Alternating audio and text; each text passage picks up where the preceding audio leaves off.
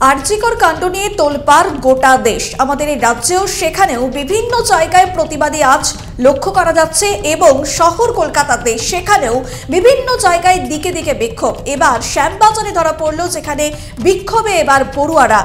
আরজিকরের নৃশংস ঘটনার বিরোধিতা করে এবং নারী সুরক্ষা এবং তিলকতমা যাতে আইনিভাবে সঠিক বিচার পায়, সেই দাবি রেখে এবার বিক্ষোভ। দোষীদের চিহ্নিত করে ফাঁসির দাবি দিয়ে শ্যামবাজারের আরজিকরের সবথেকে নিকটবর্তী কলেজ মহারাজা মনীন্দ্রচন্দ্র কলেজের ছাত্রছাত্রীদের একটি বিক্ষোভ মিছিল আয়োজন করা হয়।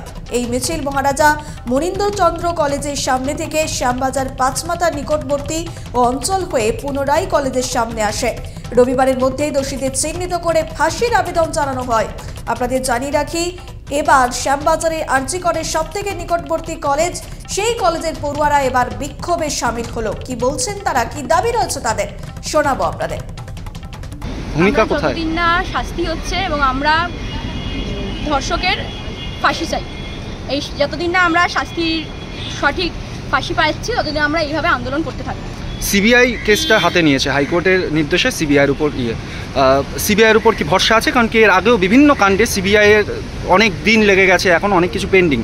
তো সেই হিসাবে কি সিবিআইয়ের উপর ভরসা রাখছেন আপনারা সাধারণ ছাত্রছাত্রী? না আমরা চাই রবিবারের মধ্যে ধর্ষকের শাস্তি হোক এবং ফাঁসি হোক। আর যদি- দাবি ফাঁসি হোক। আর যদি না হয় তাহলে পরবর্তী পদক্ষেপ আপনাদের কি?